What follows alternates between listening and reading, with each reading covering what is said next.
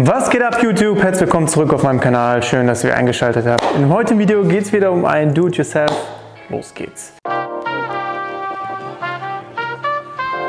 So Leute, schön, dass ihr wieder am Start seid. Äh, wie schon im Intro gesagt, es geht um ein Do-it-yourself. Und zwar ist sie endlich gekommen, die schwarze Carhartt äh, Workwear Hose. Und ich habe dazu noch eine braune. Äh, wir werden das Ganze distressen, das Ganze diesmal auch ein bisschen mit Farbe behandeln. Ich habe extra Textilfarbe geholt. Ich zeige euch das Ganze gleich am Tisch. Ähm, Ziel ist das Ganze äh, zu, ja, weicher zu machen, ähnlich wie meine Jacke. Ich habe die Jacke der ja distressed bzw. behandelt. Ähm, die ist sehr, sehr nice geworden. Die trage ich wirklich sehr oft aktuell und ich bin mega happy damit. Ähm, ähnlich ist das Ziel. Ich werde sie diesmal nicht bleichen. Ich werde das Ganze ein bisschen anders behandeln. Ich habe mir ein bisschen was äh, ja, Verstärkung geholt. Ich zeige das Ganze aber gleich. Ich denke, damit sollte das Ganze auf jeden Fall wesentlich einfacher und vor allen Dingen schneller gehen. Ähm, ja, wer das Video noch nicht gesehen hat, kann das gerne abchecken. Es ist ein sehr cooles äh, Video geworden. Sehr cooles Do-it-yourself zu der Jacke. Ähm, und äh, ja, ähnlich werden wir das Ganze mit der schwarzen Hose angehen. Ihr seht schon mal hier, ich habe hier auch noch eine braune Hose. Die ist in 30-30 und die ist in 33-30. Man muss dazu sagen, die Hosen, wer die Hose noch nicht äh, ja, probiert hat oder angezogen hat, die sitzen relativ hoch. Also man hat die hier relativ über der Hüfte auf jeden Fall am Sitz, äh, sitzt die. Und dadurch äh, ja, ähm, sitzen die ein wenig anders. Ich habe normalerweise die Größe 32-30. Äh, bei mir sitzt 32-30 ein wenig enger, ähm, deswegen habe ich jetzt hier einfach mal 33-30 äh, bestellt. Aber jeder, der 32-30, 32-32 trägt, äh, sollte easy in die Hose reinpassen. Und für die Alternative habe ich auch nochmal die braune. Leute, ich werde beide Hosen am Ende des Videos verlosen. Äh, deswegen vergesst auf jeden Fall nicht bis zum Ende am Start zu bleiben. Da könnt ihr diese Hosen gewinnen. Ähm, ich denke, das ist auf jeden Fall mega krass, weil die sind auf jeden Fall super gefragt gerade aktuell und auch relativ schnell ausverkauft. Ihr kriegt die Sachen teilweise einfach nicht mehr und äh, ja, ich bin gespannt, wie das Ganze ankommt, wie das äh, Ergebnis auf jeden Fall wird. Ich freue mich darauf und äh, ja, wir gehen jetzt einfach mal zum Tisch. So Leute, jetzt stehen wir hier am Tisch. Ähm, ich habe die ganzen Werkzeuge hier schon aufgebaut. Ihr seht auch drei Hosen. Nochmal äh, Thema Levis 501 Vintage werde ich auf jeden Fall aufgreifen. Und vor allen Dingen der Hosenguide kommt auf jeden Fall auch noch demnächst. Ich schätze mal nächste Woche.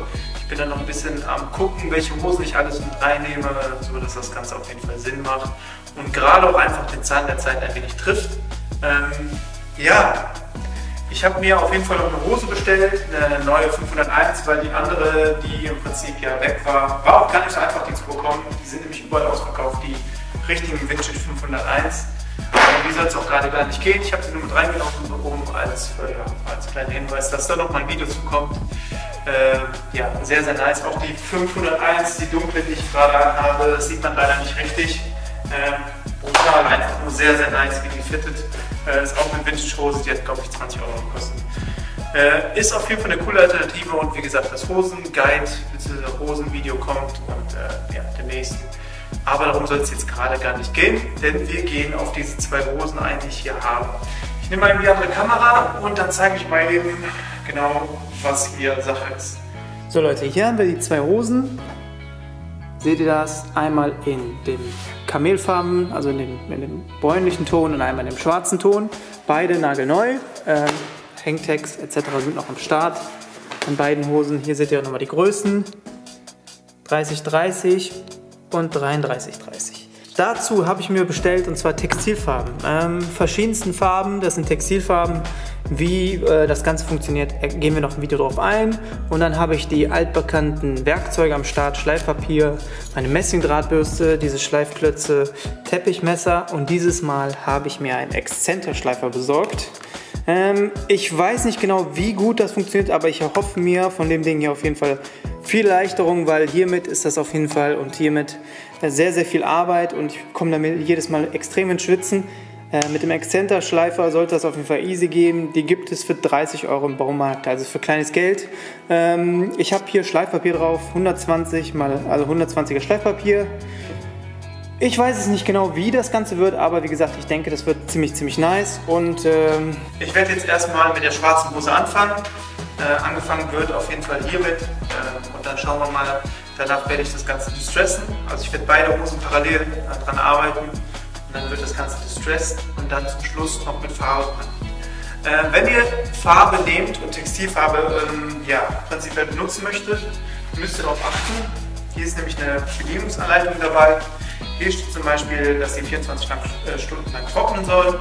Und wenn das Ganze dann richtig in die Klamotten reinge, ich sag mal, ja, reingebrannt werden soll, wenn man das Ganze dann noch äh, bei einer bestimmten Temperatur, äh, da muss ich mich nochmal schlau machen. Hier steht zwar für bei 120 Grad äh, 20 Minuten im Backofen, aber ich weiß nicht, ob das so gut ist für die Textilien. Deswegen werde ich mich da nochmal nach einer Alternative äh, erkundigen, was man da machen kann. Äh, ich lasse euch natürlich gerne äh, unten drin wissen, aber normalerweise müsste das Ganze eintrocknen und wenn ich das Ganze mit einem Bügeleisen nach- oder festbrenne, sollte das auf jeden Fall auch easy gehen. Äh, so kenne ich das auf jeden Fall aus der Vergangenheit, wenn man sowas ähm, ja, natürlich muss das getrocknet sein, weil man so, sowas mit einem Handtuch oder mit einem alten äh, Stofftuch nochmal drüber bügelt, sollte es auf jeden Fall auch funktionieren. Ähm, ja, die Textilfarbe wird auf jeden Fall auch ja, mehr oder weniger neue Sache für mich. Ich denke, wir werden das Ganze relativ äh, ja, einfach halten mit Weiß, ähm, weil ich da bin, ja, nicht so der Fan von diesen extrem bunten Sachen. Also trotzdem hat das Set hier, ich glaube, 15 Euro gekostet. Ist natürlich auch nicht ganz so viel drin, aber wir wollen ja nur kleine Akzente setzen, ein paar Spritzer etc. Da muss ich mir dann noch einfallen lassen, genau wie. Ich habe noch Pinsel hier rumliegen. Wahrscheinlich, wenn wir das Ganze damit machen, äh, so einfach mal so ein Pinsel, so eine Bürste. Äh, mal gucken. Ähm, da lasse ich mich noch, lasse ich mir noch einfallen lassen. Jetzt bereite ich erstmal das vor zum Schleifen und dann äh, sehen wir uns dann gleich, wenn der Tisch fertig ist mit dem Schleifen. So Leute, jetzt habe ich alles angeschlossen. Äh, das Ding funktioniert auch. Ist auch relativ laut. Ähm, der einzige Nachteil, der mir jetzt gerade noch äh, aufgefallen ist, dass man das Ganze nicht variieren kann. Also wenn ihr sowas holt, achtet drauf, es gibt die noch mit so ein bisschen ja, mehr Einstellungsmöglichkeiten, dass ihr im Prinzip die Drehzahl von dem Ding äh, noch ein bisschen äh, ja, variieren könnt. Ich muss jetzt ein bisschen vorsichtiger damit sein, dass ich die Hose nicht direkt kaputt mache. Das wäre natürlich traurig. Äh, aber ich denke, dass ich da auf jeden Fall genug Verständnis für habe. Und jetzt wird erstmal geschliffen.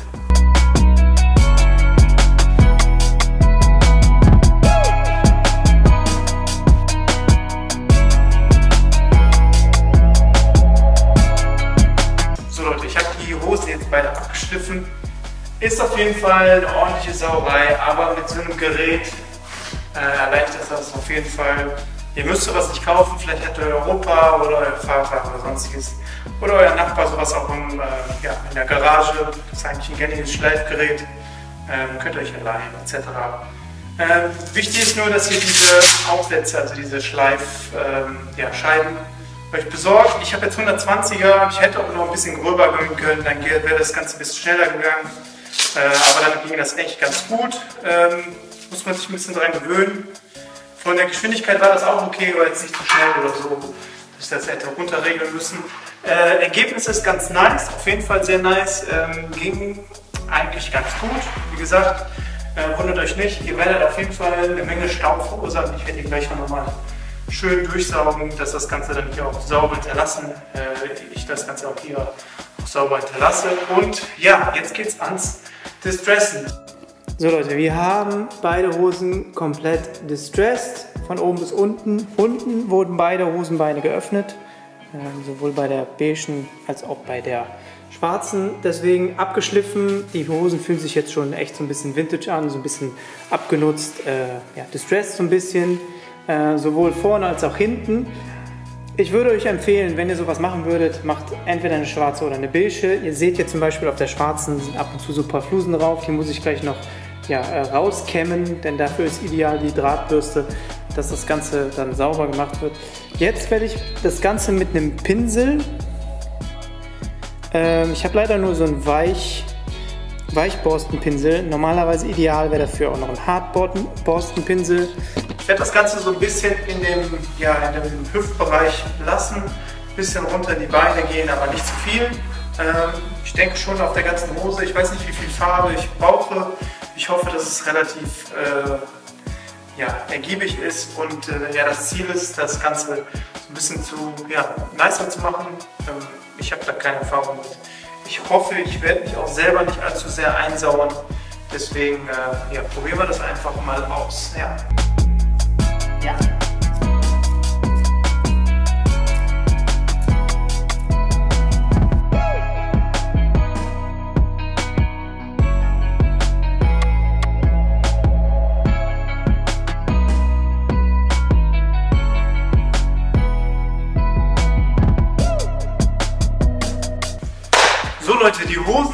Eigentlich jetzt fertig. Jetzt müssen sie natürlich trocknen.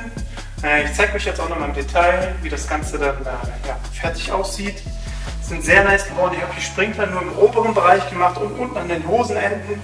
Ähm, sowohl hinten als auch vorne.